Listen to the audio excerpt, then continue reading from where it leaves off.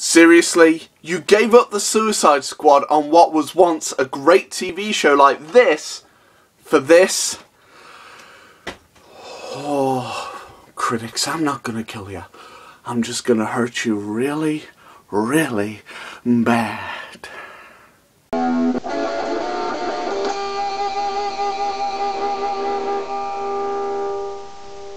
Suicide Squad, directed by David Ayer, starring Will Smith, Margot Robbie, Jared Leto, Jai Courtney, Joel Kinnaman, Cara Delevingne, Jay Hernandez, among others. So Suicide Squad is the next movie in the DC Cinematic Extended Universe where a government organisation known as Argus, led by Amanda Waller, forms Task Force X, a group of some of the worst criminals around in the DC Universe However, they are hired to take down an even greater evil as the Suicide Squad.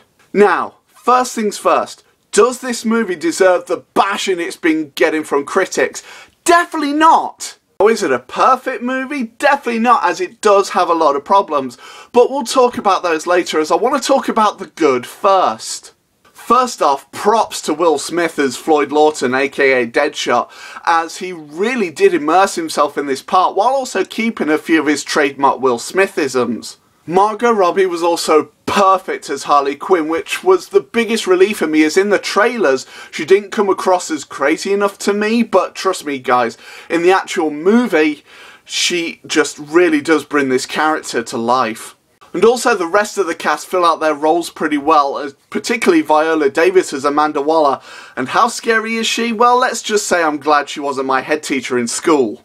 This movie is also really funny throughout and is a very quotable movie with its one-liners. Also, Ben Affleck just absolutely shines as Batman once more for the scenes he is in. Okay guys, I did say I would talk about the problems here, and I'm sorry but I do have to address them, but I can safely say this. This is still the superior Suicide Squad movie, so watch it if you haven't already. So with that said, let's just get this out of the way. First off, the editing is just so over the all over the place that it doesn't give the story a chance to flow as a coherent narrative and comes across more as a six-year-old editing a movie in Windows Movie Maker. And also, I hate to say this, and it truly pains me to say this, but Jared Leto is the weakest Joker I have ever seen in live action. But that's because he's very underused and is given very little to do with the scenes he is in. And Cara Delevingne I just didn't buy as Enchantress at all, I'm afraid. And also, they really butcher the Joker and Harley Quinn's relationship from the comics, but I can't go into details as to why without spoiling it. But having said all that, I still had a lot of fun with this movie, and I still encourage you guys out there to go and see it if you haven't already. Just ignore the critics for this one, form your own opinions, and I promise you might actually enjoy yourselves. My final verdict is an 8.5 out of 10. Thanks for watching this guys as always. Now it's over to you, so feel free to comment below and tell me what your thoughts are on Suicide Squad. And thanks for watching DC Week all this week for you guys who have.